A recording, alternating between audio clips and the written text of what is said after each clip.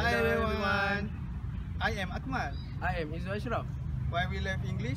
Because it is simple, fun and exciting.